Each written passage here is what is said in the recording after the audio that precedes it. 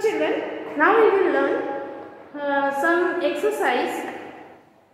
Well, magic means mental maths which you can think and give answer. First, what to do? Tails of two cows. You think the picture of cow. How many tails one cow has? So, first cow has one tail. Second cow has also one tail. So, two cow has two tails. One plus one equal to two. This way you will think and give quick answer. Take second example. Ears of three boys. Ears, how many ears do we have? We have two ears. So here, question is given three boys. So first boy had two ears. Second boy also had two ears. Third boy also had two ears.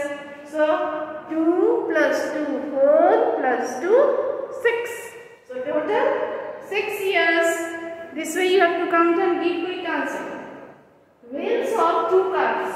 In a car, how many wheels are there? 4. Two cars are there. So 4 plus 4. 4 plus 4. 1, 2, 3, 4. 5, 6, 7, 8. 8 wheels total.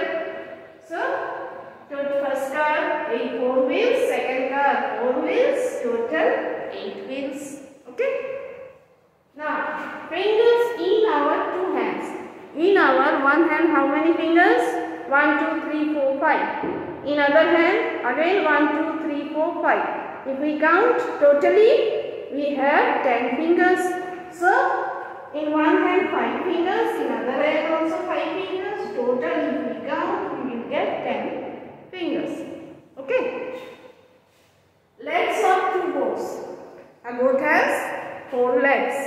So, first goat has four legs. Second goat also has four legs.